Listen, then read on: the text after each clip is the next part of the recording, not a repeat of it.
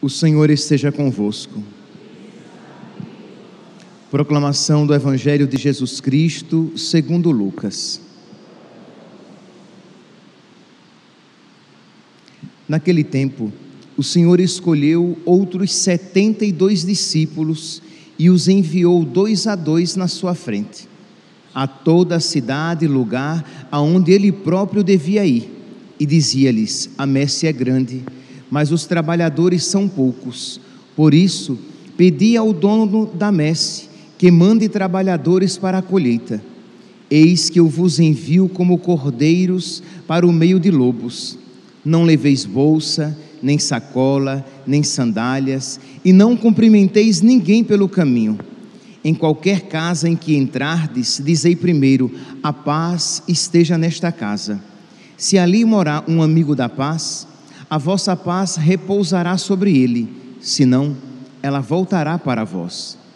Permanecei naquela mesma casa, comei e bebei do que tiverem, porque o trabalhador merece o seu salário. Não passeis de casa em casa. Quando entrardes numa cidade e fordes bem recebidos, comei do que vos servirem, curai os doentes que nela houver, e dizei ao povo: o reino de Deus está próximo de vós. Palavra da salvação.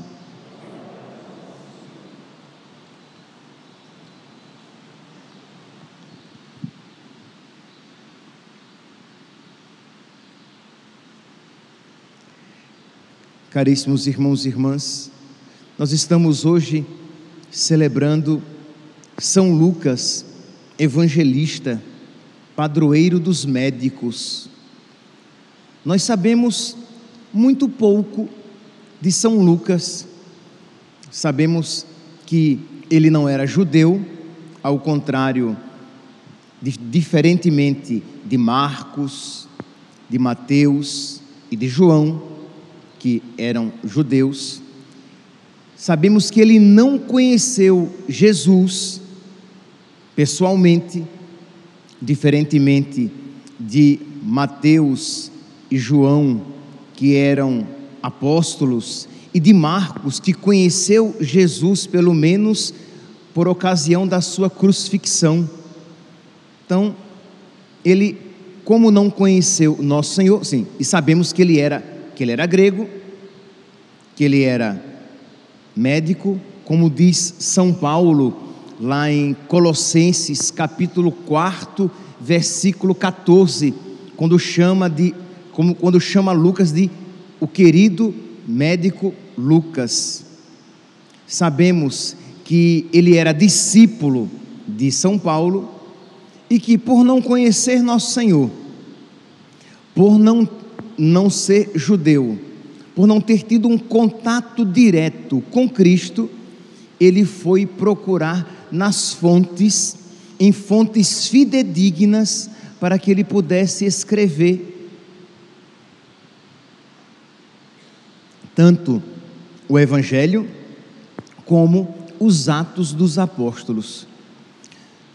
São Jerônimo, ele diz que ele reconhece em São Lucas um, um, um, um agiógrafo, um escritor muito fidedigno.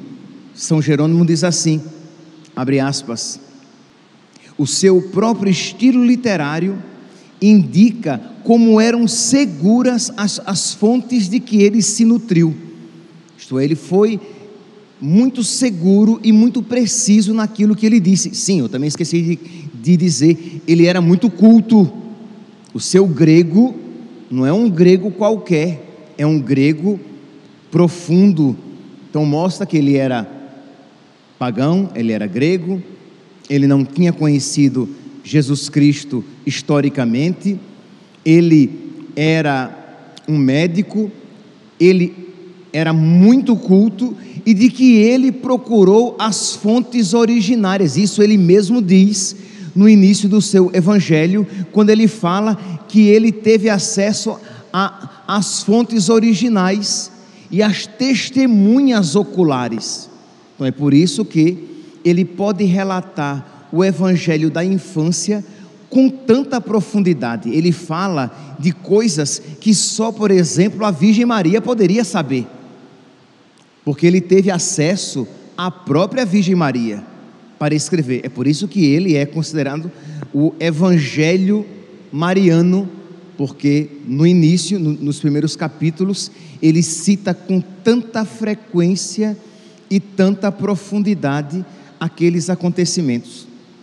Ele, por exemplo, é o único que cita várias, várias parábolas, vários milagres, porque muito provavelmente, como ele não viu, como ele não estava com Jesus quando aquilo aconteceu, ele procurou aqueles próprios protagonistas daqueles milagres.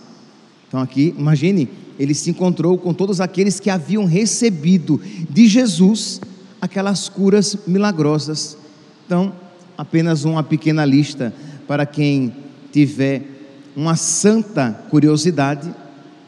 Diz aqui: graças a esse esforço e a sua correspondência às graças que recebeu, hoje podemos ler, maravilhados, as narrativas da infância de, de Jesus, a parábola do filho pródigo, lá em Lucas capítulo 15, versículo 11 só ele cita a parábola do filho pródigo, a do bom samaritano, Lucas, capítulo décimo, versículo 25, a do administrador infiel, Lucas, capítulo 16, versículo 1, a do pobre Lázaro, que nós ouvimos até por esses dias, Lucas, capítulo 16, versículo 19 então, parábolas que são únicas de São Lucas. É, a gente até diz que, que Lucas ele consegue captar detalhes que para muitos passou despercebido. Imagine, é ele que cita que quando Pedro nega Jesus, Jesus olha e quando Pedro vê o olhar de Cristo, Pedro chora amargamente o seu pecado.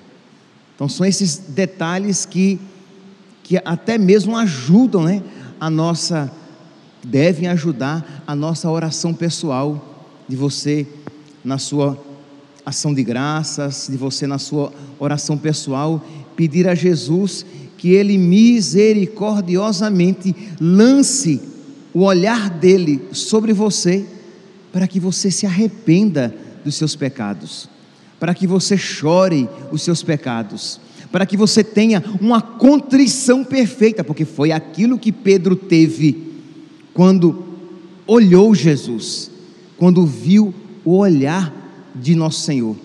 Ele chorou amarga e profundamente os seus pecados.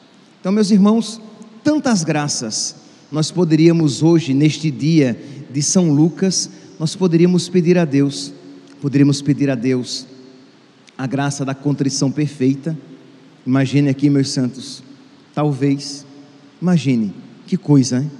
Talvez ninguém aqui nesta assembleia e, e aqueles que estão ouvindo tenham feito a experiência de uma contrição perfeita. Isto é, tiver, tiveram apenas atrição, isto é, um arrependimento dos pecados por medo do inferno, um arrependimento dos pecados, porque você sabe que aquilo é pecado, isso já é bom, pelo amor de Deus, mas não um arrependimento profundo, um ódio profundo ao pecado, porque ofendeu o nosso Senhor e porque você ama muito o nosso Senhor e não quer mais ofendê-lo. Então imagine aqui esta graça a ser pedida hoje de você se colocar diante de Deus e, e pela intercessão do médico São Lucas apresentar o seu coração doente, necessitado desta graça, que é uma graça santificadora. Mas também nós podemos pedir hoje a Deus a graça de nós frutificarmos na nossa missão, de nós sermos dóceis à vontade de Deus para que nós possamos corresponder bem às graças recebidas. Deus tinha dado inteligência a Lucas.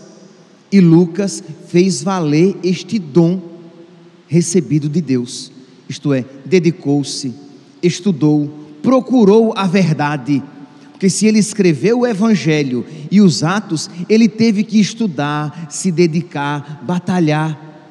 Ele não foi preguiçoso com a sua fé, ele não foi preguiçoso na sua religiosidade.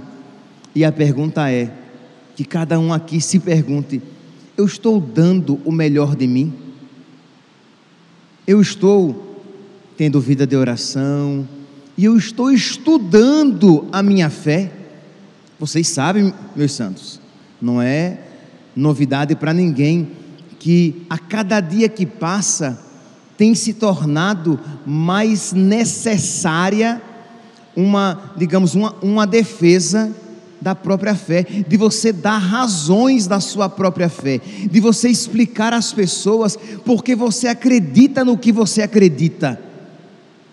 Ora, o problema é porque, como muitos são preguiçosos, não estudam a sua fé, dizem que creem porque creem simplesmente e acabou-se. E geralmente, este argumento não convence ninguém. Se São Lucas quisesse dizer simplesmente: olha, Jesus é Deus porque é Deus, Ele é o Messias porque Ele é, ele é o Messias, porque eu sinto como Messias, ele não teria se, se tornado esta fonte de bênçãos que se tornou para nós, mas foi porque ele deu razões da sua fé, ele explicou porque acreditava no, que acreditava, ele mostrou porque cria em Jesus Cristo é que ele pôde também convencer a muitos. E aí vem uma outra pergunta: você tem, pelo menos, olha que eu serei bem laxo, você tem pelo menos estudado a sua fé duas vezes na semana? Tirar meia horinha, 40 minutos para ler o catecismo? Espero que você tenha o, o catecismo, e aí você vai lendo pouco a pouco, compreendendo pouco a pouco a sua fé.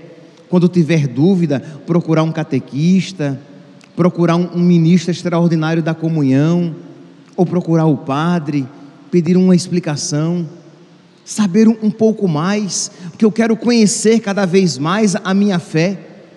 É importante, meus santos, é importante para a solidificação da nossa fé e é importante por caridade, para que nós possamos transmitir a nossa fé.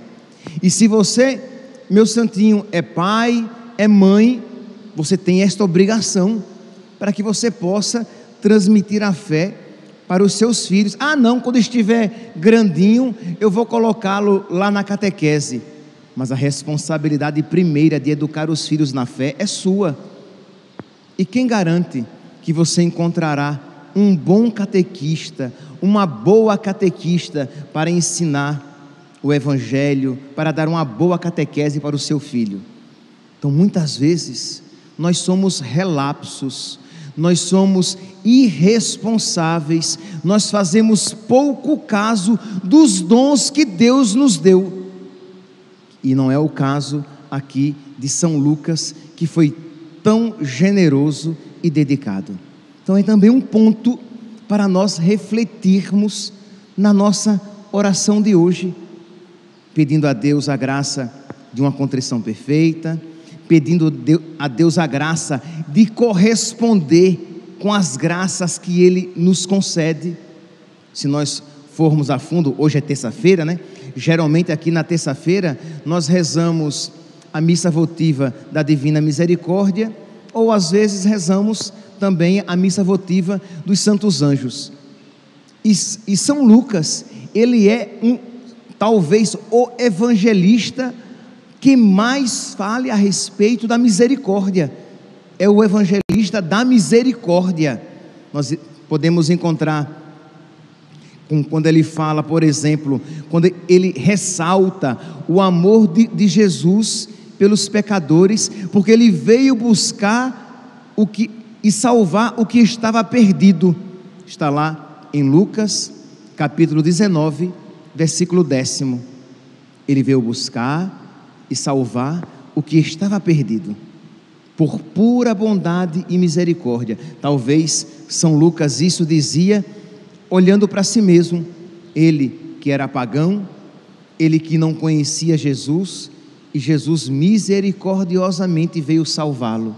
E aí, meus santos, quantos perdidos no seu bairro, na sua rua, no seu condomínio, entre os seus amigos, entre os filhos dos seus amigos, e você nem aí e nem chegando, nem se importa em evangelizá-los, em se comprometer em levá-lo para a catequese, em se oferecer para rezar o terço, pelo menos né, uma vez na semana, ou de 15 em 15 dias, na casa do seu amigo, da sua amiga, e ali, na oração do texto, você vai rezar o texto, você reza o texto, mas naquele momento você aproveita então a ocasião de falar a respeito de Jesus, da sua fé.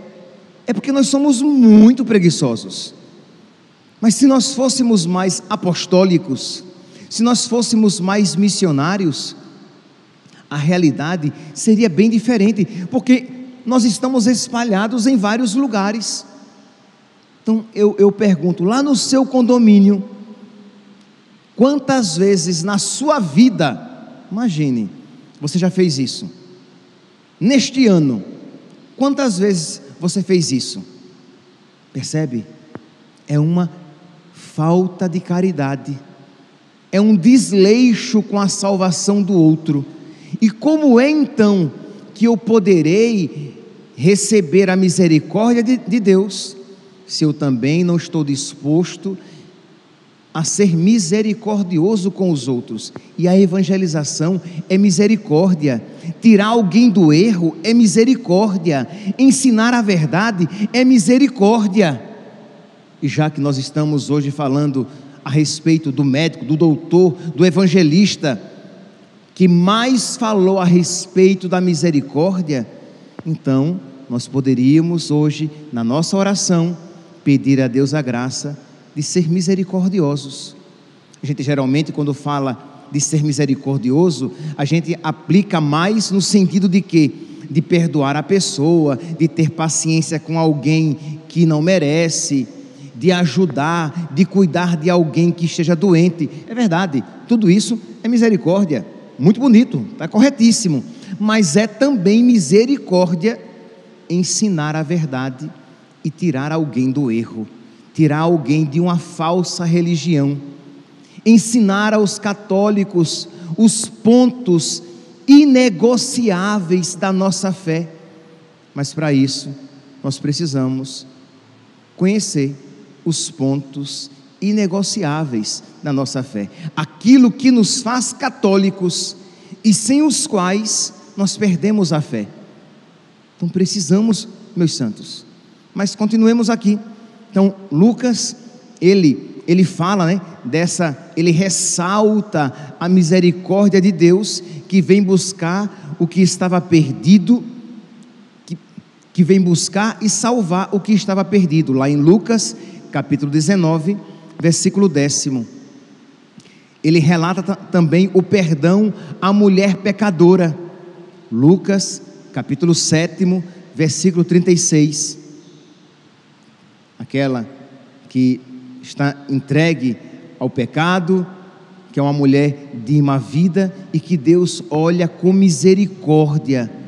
Então, São Lucas, ele só fala, ele repete tão tanto, né, insistentemente a respeito da misericórdia de Deus, porque ele experimentou também a misericórdia de Deus na sua vida. Continua. Ele fala da refeição que Jesus faz na casa de Zaqueu, daquele publicano, Zaqueu que estava em cima de uma árvore, Zaqueu que era ladrão, e que Jesus Cristo rouba o seu coração Zaqueu, que roubava o dinheiro dos outros, se encontra com Jesus, que rouba o seu coração. Isto é, aqui eu estou usando uma expressão poética, né? Jesus que ganha o seu coração. Jesus que, que convence o seu coração.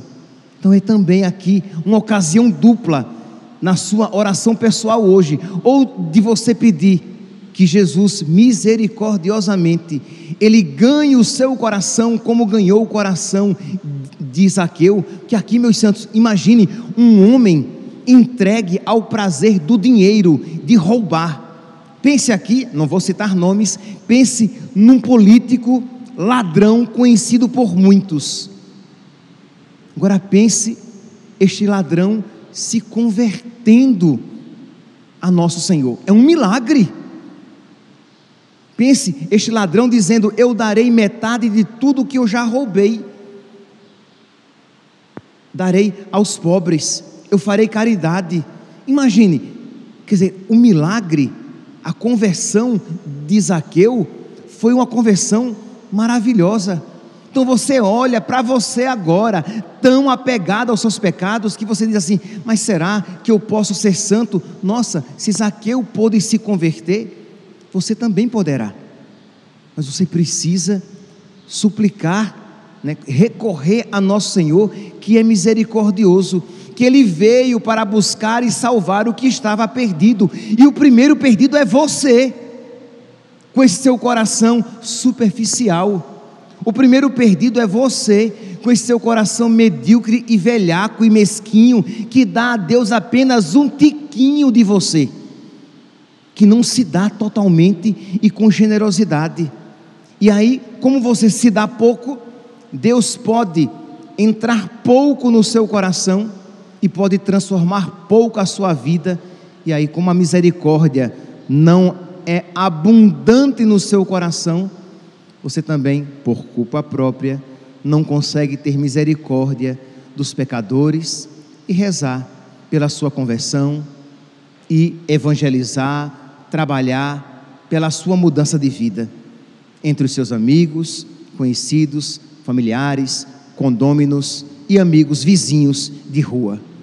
Vivemos, no máximo, preocupados com o nosso próprio umbigo ou com aqueles que estão mais próximos de nós. E muitas vezes, não poucas vezes, com preocupações meramente imanentes: saúde, tranquilidade, conforto, bom casamento, um bom emprego e não pensamos no céu para essas pessoas. Continuo. A refeição na casa de Zaqueu, no capítulo 19, no versículo 1, o olhar de Jesus para Pedro, eu já citei aqui, que está em Lucas 23, 42, e o ladrão arrependido lá em Lucas 22, 61, e a oração pelos que o insultam e crucificam, lá em 23, 34. Isto é, tanto a misericórdia para com o ladrão, como também a misericórdia de, de nosso Senhor com aqueles que o insultam, com aqueles que lhes são indiferentes, com aqueles que o desprezam, a Ele que por eles morria. Então, nosso Senhor misericordiosamente se compadece. Meus irmãos, não há como ter medo de se aproximar de um Deus tão misericordioso assim. O problema é que nós ouvimos isso e achamos isso óbvio. O problema é que nós ouvimos isso e o nosso coração não se internece. O problema é que nós ouvimos isso e o nosso coração não se enche de alegria e, e gratidão. Ah, Deus é misericordioso, é? Ah, tá bom. Nós deveríamos chorar de alegria. Nosso coração deveria pulsar de gratidão pela misericórdia de nosso Senhor, porque se Ele foi assim, tão misericordioso com aqueles que o insultavam, Ele será também assim comigo, que o insulto com os meus pecados mas eu preciso corresponder à Sua graça. Isto é, nosso Senhor, Ele não ficará passando na minha cara os pecados que eu já cometi ou que eu tenho cometido, mas eu preciso me voltar para Ele e suplicar a Sua misericórdia. Nosso Senhor não ficará passando na minha cara que eu fui ladrão. Nosso Senhor vai apenas me recompensar generosamente por um pequeno ato de retorno, que no caso do ladrão arrependido foi reconhecer o próprio pecado e a justiça de nosso Senhor. Mas nós somos preguiçosos até para intelectualmente fazer isso. Porque eu estou dizendo isso, você acompanha pelas redes sociais, vocês estão aqui na missa. E não poucos vão comungar. E nem sequer vão pensar em pedir a Deus perdão pelos próprios pecados.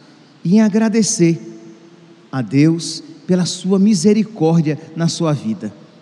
Muito obrigado, Senhor, porque eu tenho sido tão insistente nos meus pecados e o Senhor tão misericordiosamente tem me, me buscado.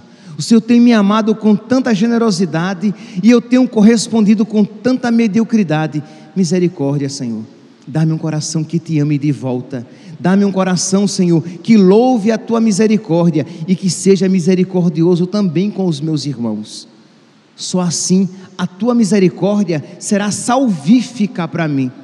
Senão, não obstante toda a misericórdia de Deus, eu me perderei por toda a eternidade, porque eu fui superficial, eu fui indiferente a todas as graças que Deus misericordiosamente tem me concedido.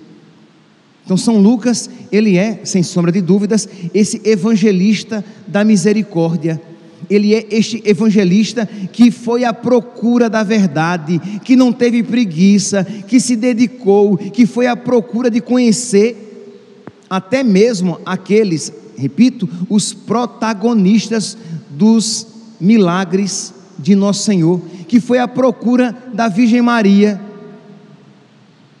diz o Papa João Paulo I, ele escreve palavras do Papa João Paulo I, abre aspas, És o único, é como se ele estivesse conversando com São Lucas, és o único que nos oferece um relato do nascimento e infância de Cristo. Único, vocês não vão encontrar isso em Mateus, nem em Marcos, nem em, em João. És o único que ofereces um relato do nascimento e infância de Cristo, cuja leitura escutamos sempre com renovada emoção no Natal. Há, sobretudo, uma frase que me chama a atenção qual é a frase que chamava a atenção do Papa João Paulo I? Abre aspas para a afirmação de Lucas: e o enfaixaram e o reclinaram numa manjedoura. É por isso que nós temos os presépios.